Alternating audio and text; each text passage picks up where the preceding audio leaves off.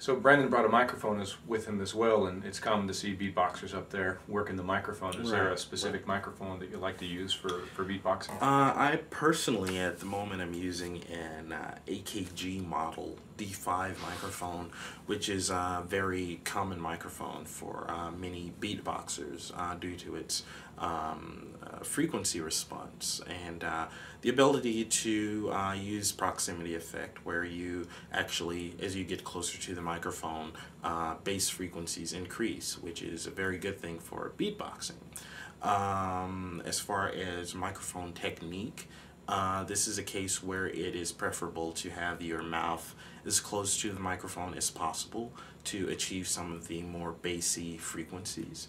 So uh, from the side view here, uh, I would generally hold the microphone something like this. Uh, rather than down by the handle, it's helpful to actually hold it from the uh, uh, actual grill of the microphone to uh, be able to sort of um, uh, focus in more specifically and directly, directly in front of your face rather than having it down here. It's very important to have the microphone as close to the source of sound as possible. So if I'm beatboxing, I will often have it much closer, something like this, if not actually having my lips touching the uh, microphone. So uh, to beatbox a microphone would sound more like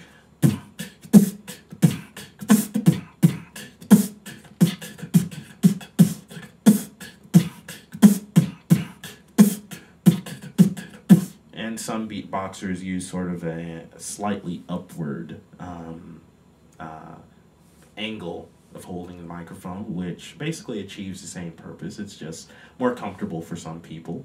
Um, as far as holding a harmonica and doing this at the same time, uh, I would actually hold the harmonica in standard grip while holding the microphone, um, usually using like the bottom two fingers of my hand, um, having the top three fingers, uh, top two fingers and thumb um, free for actually cupping the um, um, harmonica.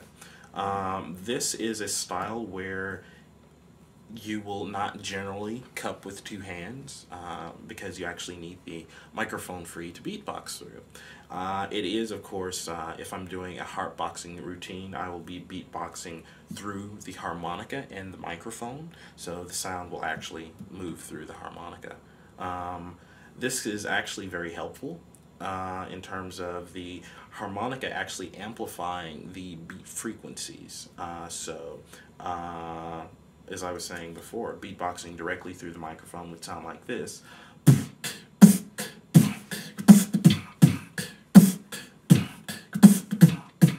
If I do the same thing pretty much through the harmonica, uh, it can be amplified in certain contexts to where the reed movement adds a lot of extra sound to the beat, for instance.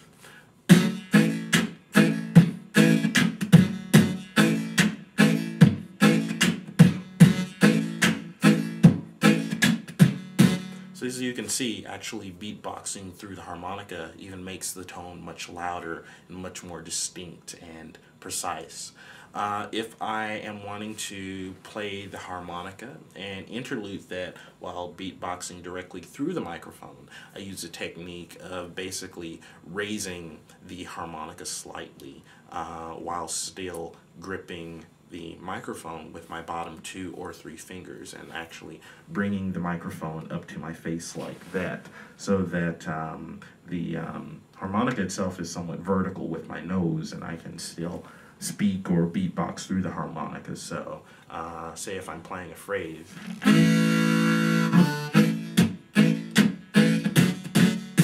And still want to sing through the microphone, I can simply lift the harmonica using my thumb and uh, forefinger and uh, having the actual end of the microphone, the grill portion of the microphone exposed to still beatbox and speak throughs, so on and so forth, like this. So I can still create beats and switch back to playing the harmonica by a simple movement up and down of my fingers.